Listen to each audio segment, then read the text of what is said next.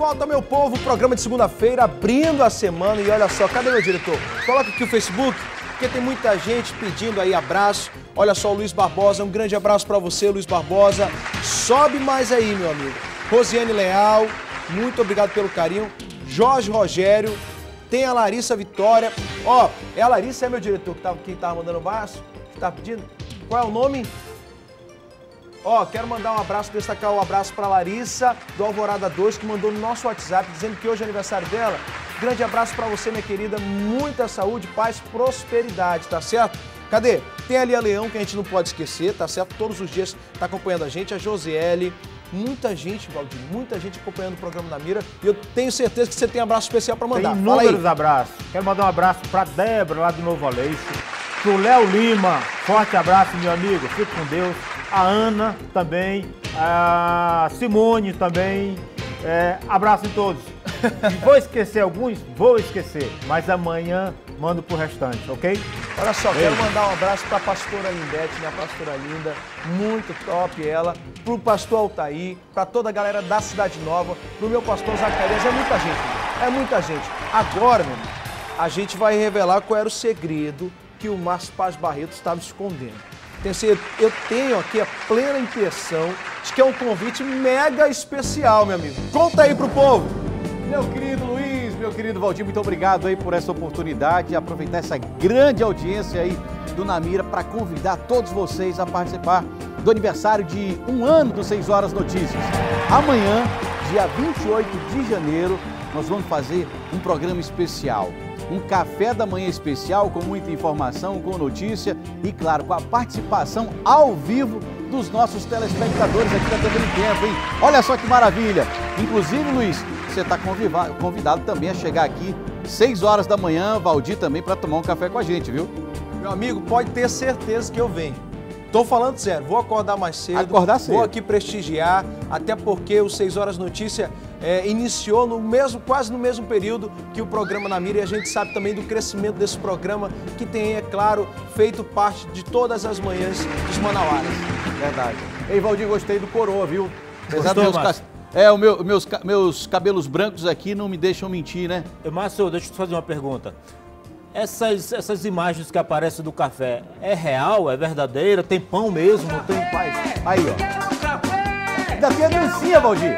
Então, assim, não vou dizer pra você se é real ou se é fake. Claro que é real, né? Então vem aqui comigo amanhã, 6 horas da manhã, pra gente tomar um café junto. Seis Topa? horas, seis horas já estou acordado. Não, é, Só que eu tá venho de na TV. pijama, venho de pijama, tomo café e volto pra tocar.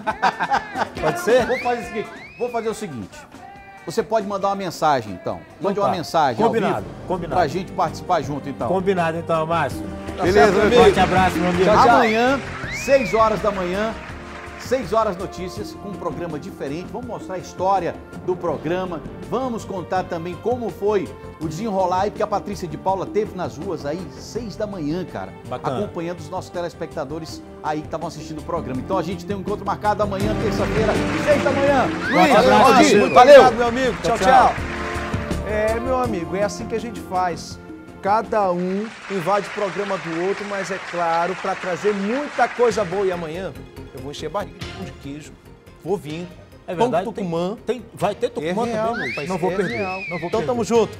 Meu povo, na manhã deste último domingo, o estudante de odontologia Leandro Soares, de 29 anos, morreu após dar entrada no hospital Pronto-Socorro João Lúcio, na zona leste de Manaus. O rapaz foi vítima de um acidente de trânsito, que você está vendo aí na tela, que ocorreu no bairro Praça 14. Durante uma colisão entre dois veículos na Avenida Tarumã, esquina com a Major Gabriel, um dos carros capotou e danificou o semáforo da via. O acidente ocorreu por volta das 5 horas da manhã. De acordo com um amigo da vítima, o estudante dirigia um carro de modelo HB20, avançou o sinal e colidiu com o veículo Ford Ka. Carro capotou na avenida e ficou destruído. A vítima foi atendida pelo Serviço de Atendimento Móvel de Urgência, o SAMU, para o Hospital Pronto Socorro João Lúcio, onde não resistiu e morreu. Essa é a cena do momento da colisão. Olha só, gente. Que violência, gente. Por isso que a gente ressalta aqui para você o cuidado de você ter no momento que vai dirigir, no momento em que você está ali principalmente esses horários, 5 horas da manhã, 4 horas da manhã. A gente sabe que final de semana é movimentado aqui em Manaus. A gente sabe que tem gente que, que passa um pouco né, é, do, do, do comportamento. A pessoa vai lá, toma bebida alcoólica, mistura com volante. No caso, não sei se foi isso, mas infelizmente você tem que se prevenir contra esse tipo de situação, porque a gente sabe que um acidente de trânsito, um momento que você está distraído, pode acabar tirando a vida de alguém. Nesse caso, foi de um estudante de odontologia de 26 anos. 26 anos, não é isso, meu diretor? Ou é 29? É nessa faixa, não é isso? 29 anos. Isso, 29 anos, olha aí.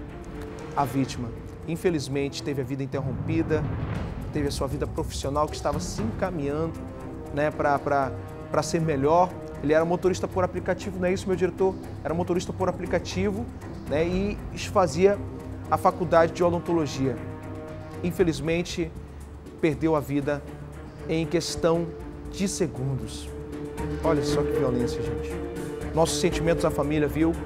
Mas a gente ressalva que é importante qualquer um, qualquer um, qualquer um, seja você que está iniciando é, a, a, a sua direção, seja você que já está há muito tempo dirigindo, saiba que um momento de distração um momento de descuido você pode acabar tirando a vida de alguém. Por isso, continue é, fazendo, né? continue dirigindo de maneira respeitosa, respeitando o próximo, respeitando alguém que está que tá na sinalização certa, para que esse tipo de coisa não possa se repetir aqui em Manaus. Valdir, tem informação contigo aí. Tem, Luiz, mas eu quero comentar isso aí o seguinte também. É muito, todo cuidado no trânsito é pouco, né, Luiz? Esse horário, 5 horas da manhã, o cara vê o trânsito livre lá, vai passar no cruzamento, meu amigo, tem que reduzir, vá com o maior cuidado possível para evitar uma tragédia dessa. Infelizmente, aí temos duas famílias aí sofrendo.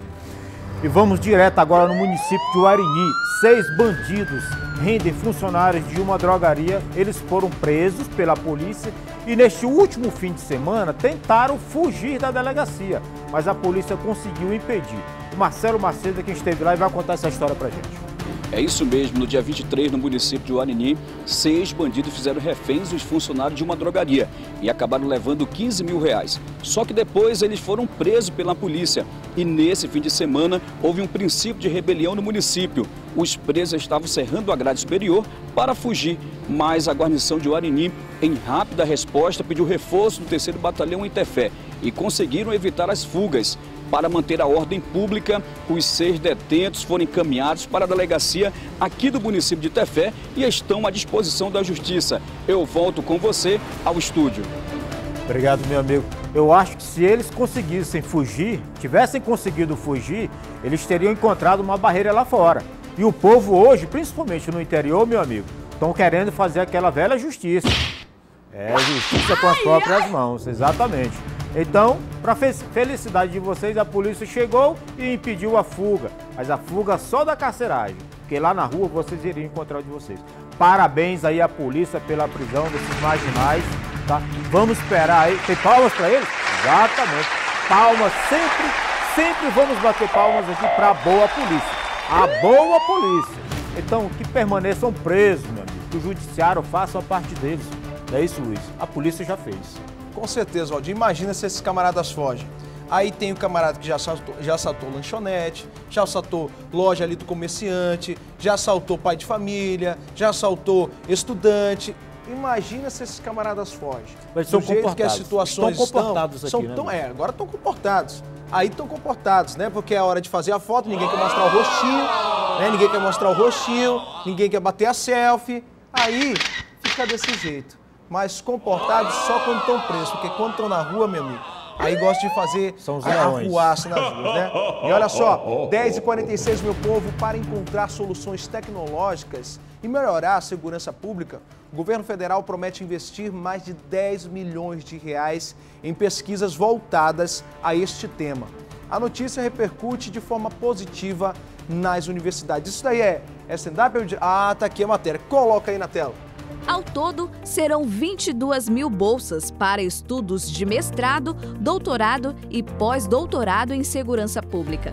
As pesquisas científicas vão poder auxiliar as forças de segurança, principalmente no enfrentamento ao crime no país. Os estudos vão poder traçar a origem de drogas e mapear rede de tráficos, além de ajudar no mapeamento de lavagem de dinheiro por meio de inteligência artificial.